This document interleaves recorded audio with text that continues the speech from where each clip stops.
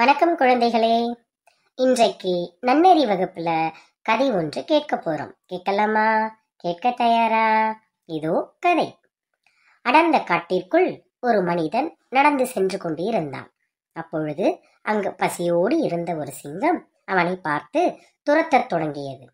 மனிதன் ஓடத் தொடங்கினான். ஓடி ஒரு மரத்தில் ஏறிக்கொண்டான் அந்த மரத்தில் குரங்கு ஒன்று வசித்து வந்தது. அந்த குரங்கு அவனுக்கு ஆறுதல் கூறியது சிங்கத்திற்கு மறையேற தெரியாது. தைரியமா இருங்க. சிங்கம் சென்றதும் தகவல் தருகிறேன். நீங்கள் இறங்கிச் செல்லலாம் என்று ஆறுதல் கூறியது. சிறிது நேரத்தில் குரங்கு உறங்கிவிட்டது. கீழே நின்றிருந்த சிங்கம் அந்த மனிதனை பார்த்து குரங்கையே கீழே தள்ளிவிடு. நான் உன்னை விட்டு விடுகிறேன் என்று கூறியது.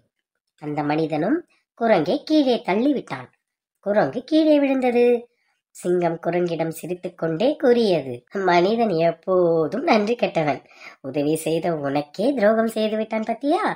உன்னை கொல்ல மாட்டேன். நீ மேலே சென்று அவனை கீழே தள்ளிவிடு என்று கூறியது. மரத்தில் ஏறி குரங்கு அந்த மனிதனை கீழே தள்ளிவிடவில்லை. பதிலாக சிங்கத்தை பார்த்து பெருமிதமாக கூறியது நம்பி வந்தவர்களுக்கு நம்பிக்கை துரோகம் செய்ய நான் ஒன்றும் மனிதன் அல்ல என்று இந்த கதை கூறும் நன்னெறியை அப்துல் நீ கூறுகிறாயா? சொல்கிறேன் அம்மா. ஐந்தறிவு படைத்த விலங்குகள் நன்றி உணர்வு மிக்கவையாக இருக்கின்றன. ஆனால் ஆறறிவு படைத்த மனிதன் நன்றி உணர்வு அற்றவனாக இருக்கிறான் என்பதையே இந்த கதை காட்டுகின்றது. மனிதர்கள் விலங்குகளை விட நன்றி உணர்வு மிக்கவர்களாக இருக்க வேண்டும். இதுவே இந்த கதையின் கருத்து. அருமை அருமையாக கூறினாய் அப்துல்.